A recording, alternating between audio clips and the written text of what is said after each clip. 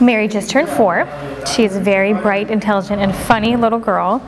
Um, at six months of age, she was diagnosed with spinal muscular atrophy type 1. So, cognitively, Mary is above intelligence, but her limitations are, are very physical.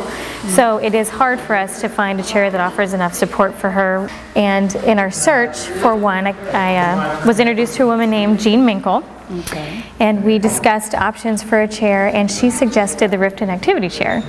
So I called you guys because I thought, what better place to actually do it but to come to the company and see how we can fit her for the chair. And here we are, and it seems to be fabulous for her.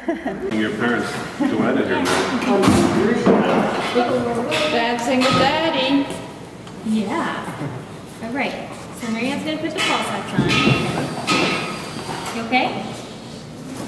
You know, right now we don't have a seating system for her where she can actually sit up and do any activities such as, you know, joining us at the dinner table, um, watching TV, playing with her brother, doing her schoolwork. And it's been a challenge, like I said, to find something that offers that support for her. She needs a lot of recline, a lot of tilt in space, um, and then along with the lateral supports and the hip supports. And this chair, I mean, I'm very impressed. She got in it the first time and she did fine. You know, her oxygen didn't go down. It's very smooth when we are adjusting it for her, which is good because sometimes we've found that chairs have been a little um, like rigid, you know, and then she gets a little nervous right. with that. And the high-low base is great too because she's in preschool, so she can actually be lower to the ground and right. be in circle time with her friends, but then lift up to be at the table with them or with us at home.